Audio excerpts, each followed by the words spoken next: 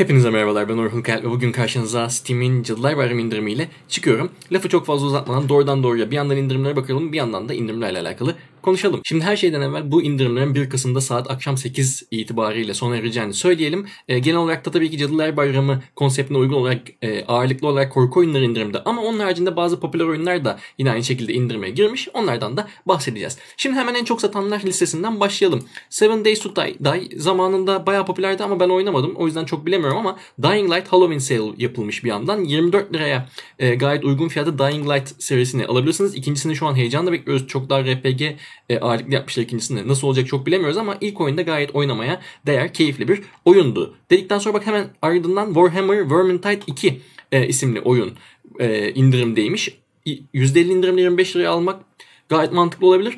Şöyle diyebilirim aslında bunu biz multiplayer'da da e, incelemesini yaptık. Daha doğrusu incelemesini değil de ilk bakışını yaptık. Left 4 Dead seviyorsanız aslında Warhammer Worm evreninde geçen bir Left 4 Dead oyunu diyebiliriz Vermintide için.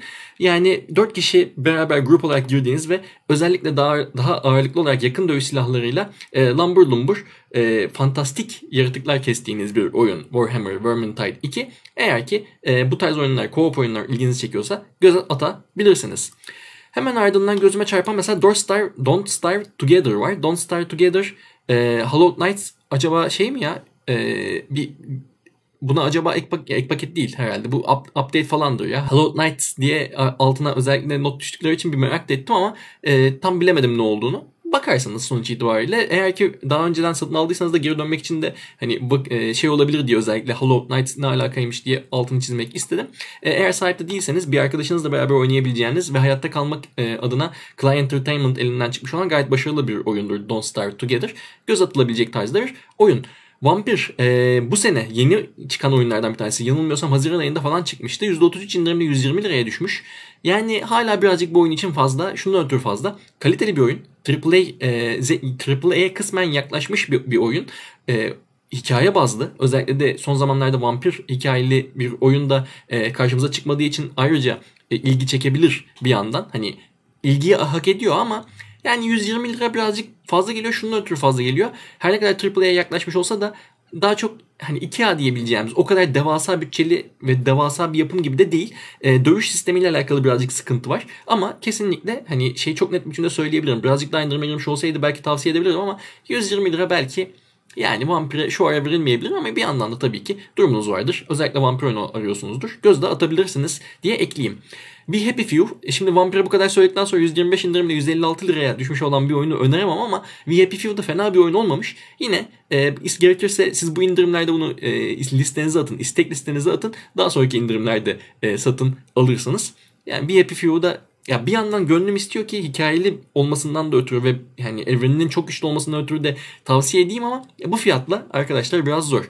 Ee, ama yine de dediğim gibi siz istek listenizde atın eğer ki ilginizi çekiyorsa. E, Left 4 Dead 2 az evvel zaten Vermintide 2'den bahsederken adını almıştık. E, 4 liradan hani belki daha iyi bir alternatif bile olabilir. Hani 25 lira adam başı vereceğinize Vermintide 2'ye Left 4 Dead 2'ye bakabilirsiniz eğer şu ana kadar oynamadıysanız ama zaten bu tarz oyunları seviyorsanız muhtemelen Left 4 Dead'i de oynamışsınızdır diye tahmin ediyorum. Hunt Show'dan Crysis'in yapımcısı Crytek'in elinden çıkan bir oyundu atmosferi itibariyle çok ilgimizi çekmişti ve buna da multiplayer'da göz atmıştık Enis'le beraber ama çok beta dönemiydi. Çok fazla bug olduğu için bir türlü adam akıllı oynamayı becerememiştik. Öyle bir sıkıntı olmuştu. Sonradan o bug'ları vesaireleri toparladılar. Performans problemlerini de e, tamamen çözdüler mi emin değilim ama bayağı iyi noktaya getirdiler. Özellikle bizim o beta'da oynadığımız döneme nazaran bayağı iyi noktaya getirdiler diyebilirim. E, o yüzden hani belki 51 lira yani birazcık yine fazla gibi gelse de göz atabilirsiniz. Hani oyun Battle Royale değil ama Battle Royale'e benzer yanları var. İşte bir haritaya belli başlı sayıda e, insan giriyor ve bir görevi tamamlamak için e, hep beraber yarışıyorlar. O açıdan Battle Royale'e yeni bir soluk getirmiş, getirmeyi deneyen bir oyunda olmuştu. Belki e, o açıdan ilginizi çekerse göz atabileceğiniz bir oyun Hunt. Ama tabii e, şimdi ben emin olamadım ama siz gene şeye kesinlikle göz atın. Performans problemleri çözülmüş mü çözülmemiş mi ona kesinlikle göz atın ve ondan emin olduktan sonra al- alacaksınız alırsanız da. Başka Darkest Dungeon. Darkest Dungeon benim çok kısa oynayabildiğim, çok kısa oynayabildiğim e, ve hani aslında daha da fazla oynamak için çok hani heves ettiğim ama bir türlü vakitsizlikten oynayamadığım bir oyun. Acayip zor. RPG yanı var. Zaten sıra tabanlı bir dövüş sistemi de var. E, bir mahzende birazcık isminden de anlayabileceğiniz gibi bir mahzende ekibinizle beraber ilerliyorsunuz. Loot buluyorsunuz. Kendi e, üstünüzü ve köyünüzü geliştiriyorsunuz ve tekrar yeni bir runa başlıyorsunuz. Biraz roguelite yanı var ve e, ölen karakterleriniz ölüyor. Yani sonuç itibariyle partinizden tamamen çıkıyor ve gitgide de zorlaşan bir yapıya sahip bir oyun. Yani %70 indirimle 12 liraya alınabilecek bayağı keyifli oyunlardan bir tanesidir. RPG özellikle seviyorsanız. Sıra tabanlı RPG e, dövüşlerini de hani ilginizi çekiyorsa o, o, o tarz oyunlardan da hoşlanıyorsanız kesinlikle göz atabilirsiniz. Şimdi korku oyunu olmamasına rağmen herhalde bir Rocket League'e %40 indirimle 18 liraya düşmüş ee, ve hani konsept olarak da gördüğünüz üzere böyle bir değişiklik yapmışlar e, şeyinde ne derler da logosunda. E, herhalde bir update falan geldi ona da ya da update gelmediyse bile sırf burada indirime soktukları için böyle bir şey yapmışlar. Yani Rocket League korkuyla alakası yok ama e, sonuç itibariyle popüler bir oyundu kendisi ve hala da bayağı oynayanı var bildiğim kadarıyla. E, arabayla yani bilmeyenler için gerçi özetleme gerek var mı ya arabayla futbol oynuyorsunuz işte e, özetle. Göz atabilirsiniz, alabilirsiniz. Yani bu indirim gayet iyi gözüküyor.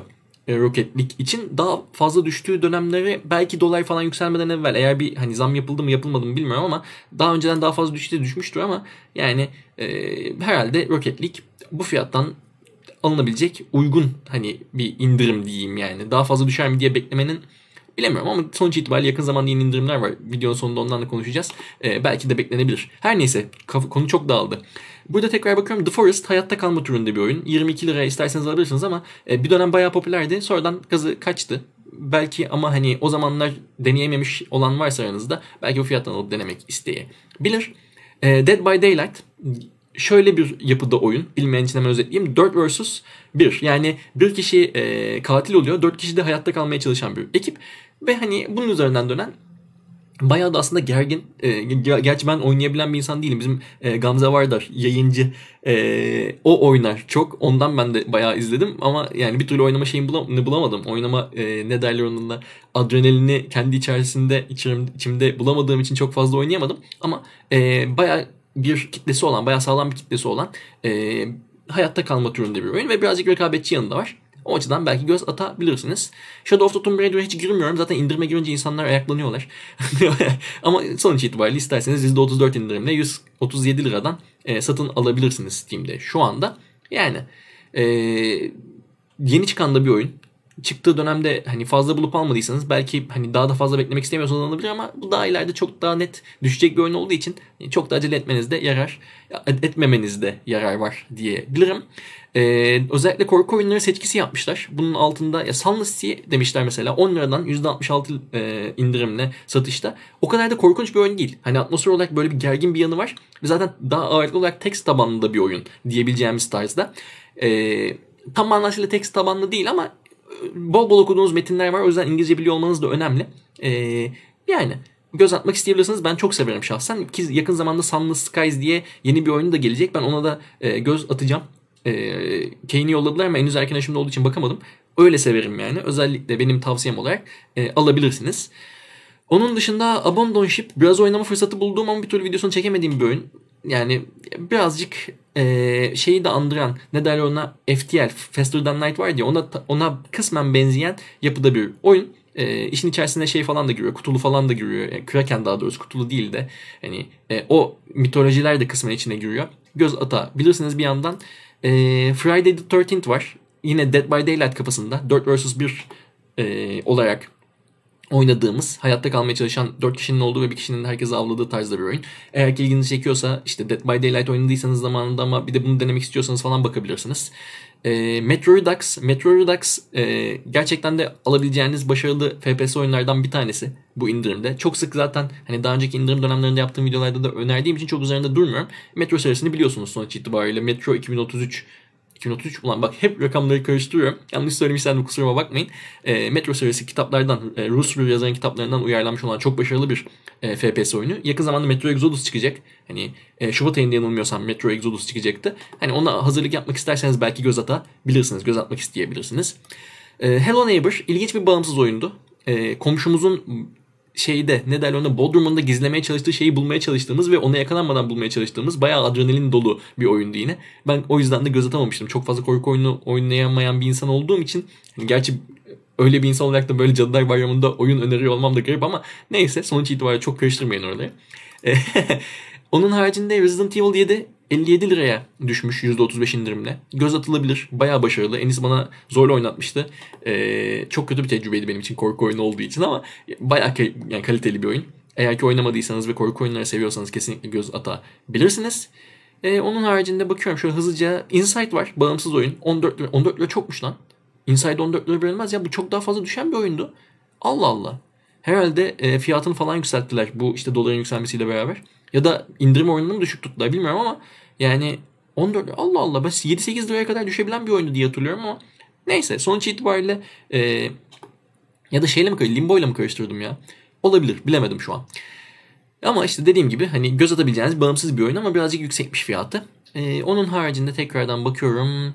Salt and Sanctuary RP, şey RPG diyorum Dark Souls tarzı oyunları seviyorsanız e, Salt and Sanctuary hem atmosferi hem de oynanışı itibariyle Dark Souls'a benzer bir platform oyunuydu. Yani e, şey diye adlandıran da çok vardı. İşte Dark Souls'un platformu hani platform hali e, diye adlandıranlar da vardı. E, dolayısıyla belki isterseniz bir göz atabilirsiniz. Ha evet bakın Limbo'ymuş. Limbo ile karıştırdım herhalde Inside'ı. 4 liraya kadar düşmüş Limbo. E, bağımsız bir platform oyundu. Bayağı puzzle platform diyebileceğim türde bir oyundu. İlginç de bir yapısı vardı. Belki göz atmak ona da orada isteyebilirsiniz. Remothered, Remothered da bu arada çok karşıma çıkan bir oyun. E, yayıncı arkadaşlar oynuyorlar sık sık. Yani ben çok bilmiyorum nasıl bir oyun olduğunu ama belki hani e, popüler olduğu için bir göz atmak isteyebilirsiniz. Ama oyunun nasıl bir oyun olduğuna dair hiçbir fikrim yok. Çünkü gerilim. Yani hani çok fazla e, oturup izlemedim oynayan arkadaşları da. VR korku oyunları var ama VR korku oyunlarına hiç girmeyeceğim. Gerçi aa Vanishing of Ethan Carter'ın VR'ını yapmışlar. VR'ını değil de siz Vanishing of Ethan Carter'ın kendisini belki böyle bir denemek isteyebilirsiniz uygun fiyattan yakalarsanız. Ya VR'ı 6.5 lira olduğuna göre herhalde kendisi de 6.5 liraya kadar düşmüştür. Yukarıda gördüm mü bilmiyorum. Şöyle hızlıca bakayım. Yani çok da denk gelmedim. Ama böyle geri dönünce şeyi falan gördüm ya. Grim Dawn'u gördüm. Grim Dawn %70 indirimli 12 liradan satışta. E, aksiyon RPG oyunu seviyorsanız ona göz atabilirsiniz. Evil Within şimdi tekrar gözüme çarptı 30 liradan. Eğer istiyorsanız ona da göz atabilirsiniz. E, tekrar devam edeyim kaldığım yerden. Çünkü geri dönüp, dönüp bakarsam sabaha kadar konuşuyoruz indirimleri. E, VR korku oyunlarını geçiyorum. Ücretsiz korku oyunları falan koymuşlar ve öyle de bitirmişler. Böyle. Kaç tane saydım bilmiyorum ama arkadaşlar herhalde e, en azından bir ay sonra tekrar başlayacak olan e, tekrar başlayacak olan değil sonbahar indirimleri yapılacak Kasım ayının son e, günlerinde. Tam tarihini hatırlamadım ama belki şuraya bir not düşerim e, kaçında başlayacağına dair. O döneme kadar idare edecek en azından bir iki oyun bulabileceğinizi tahmin ediyorum. E, Baya güzel de indirimler. Hani bu, buradaki listede olmayan ayrıca da oyunlar var mı bilmiyorum. Çok detaylı olarak bakmadım ama zaten en popülerleri ve en e, oynanabilir oyunlar burada e, şey yaptığı için sıralandığı için ki bakın tekrar bir Bioshock'un remastered'ını falan da koymuşlar. E, onu da gördüm. Castlevania gördüm. Baktıkça aslında başka başka şeyler de çıkıyor ama daha fazla detayına girmeyeceğim. E, böyle arkadaşlar yani Cadılar Bayramı indirimi 1 Kasım'da bitecek dediğim gibi yani 2-3 günlük bir şey bu. E, Perşembe akşamı saat 8'de sona erecek. Hani e, açıkçası ilgi çekecek oyunlar da bulunduğu için e, bir göz atmanızı sizin de tavsiye ederim. Eğer ki benim burada hani e, dikkat çekmediğim ama sizin benim dikkatimi çekmediği için sizlere bahsetmediğim diyeyim daha doğrusu. Ama sizin hoşunuza giden başka oyunlar varsa lütfen onları da yorumlarda paylaşmayı unutmayın. E, şimdilik benden bu kadar diyelim o zaman. Bir başka videoda görüşmek üzere. Kendinize iyi bakın. Hoşçakalın.